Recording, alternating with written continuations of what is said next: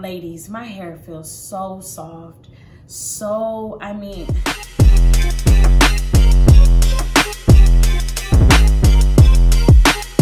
Welcome back to my channel. If you are new here, welcome.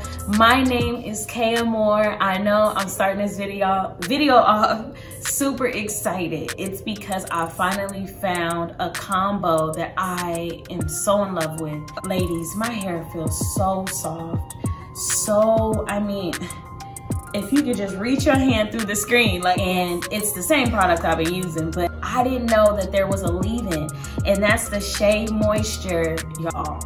Y'all already know I love the Curl Enhancing Smoothie. Then I fell in love with the Curl Stretch Pudding.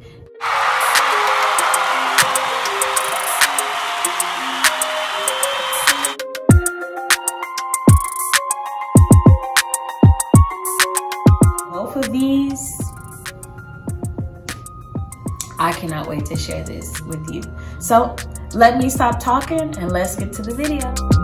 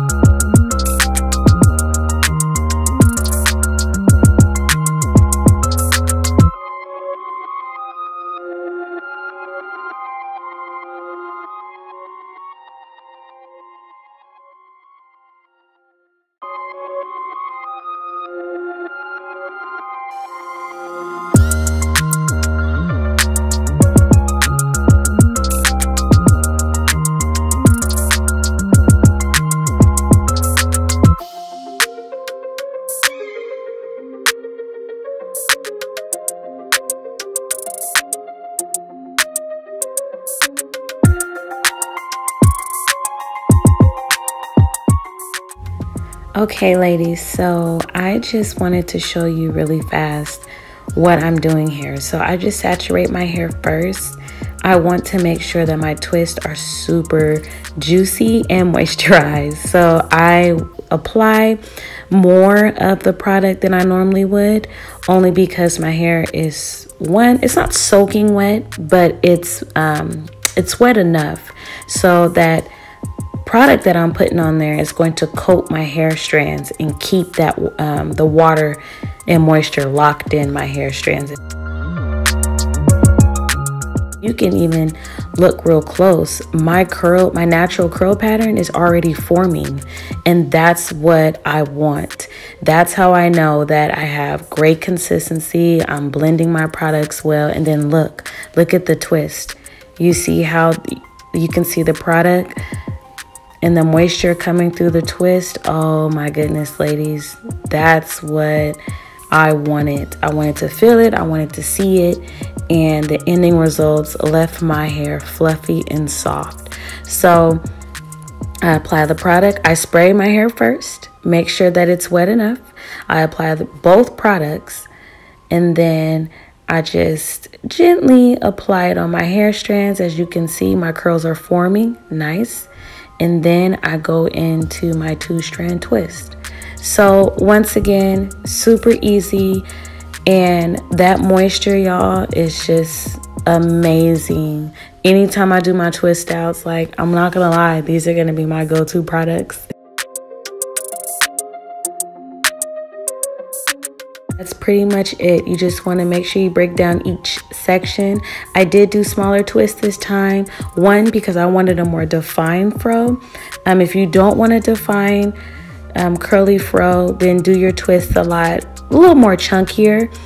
But for me, I just wanted a super defined, soft, fluffy look that'll last me at least about three to four days.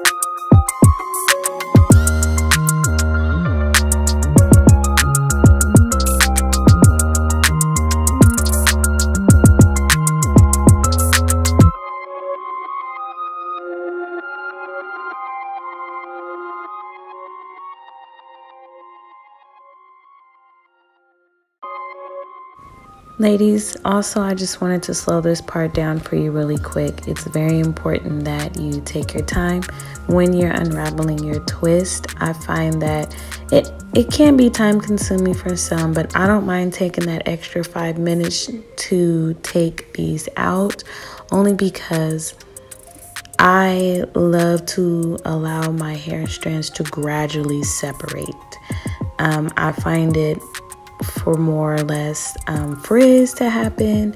And well, I really don't mind frizz, but if you mind frizz, that's a great way to um, prevent as much as you can. Just take your time and let your hair gradually separate.